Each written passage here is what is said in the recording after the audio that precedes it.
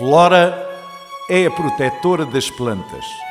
Consegue comunicar com as plantas e tem o poder de fazer crescer todas as plantas.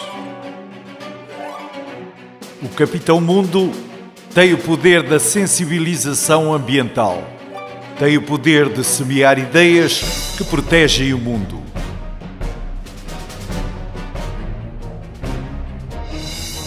Amaralis é a protetora da fauna. Com a flor encantada, tem o poder de curar todos os seres vivos ao seu redor.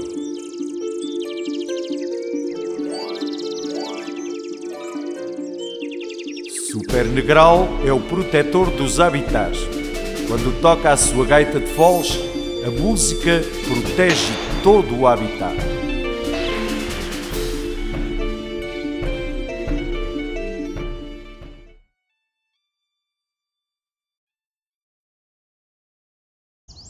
Sabias que a Praia dos Ouriços, no litoral desta área protegida, é um geossítio?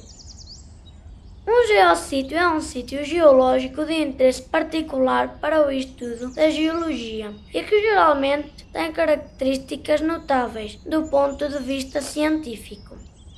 No geossítio da praia da Foz dos Ouriços é possível observar o estilo de dobramento típico das rochas que sofreram deformação devido ao movimento das placas tectónicas.